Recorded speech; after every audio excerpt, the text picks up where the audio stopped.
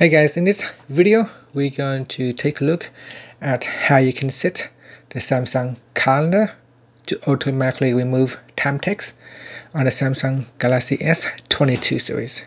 So first tap on the home button to go back to the home screen. And on the home screen, swipe up to go into the app screen and open up the calendar app. Now in here, you can see I can uh, select a date and in this quick menu I can say lunch at 2 p.m. and then if I tap on yes and you can see in the title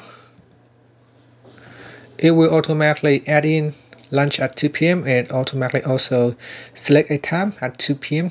to 3 p.m. However, in the title, it also has the time text in it, it didn't automatically remove it for me.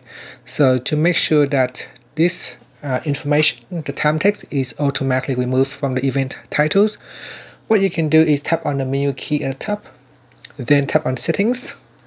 In calendar settings, go down and tap on remove times from event titles and tap on the toggle button to switch it on. This will automatically remove times from events added through the quick add menu. So this is the quick add menu down here. So now let's say on the 20th of this month and I put in lunch at 1 p.m. And you can see here it shows lunch at 1 p.m.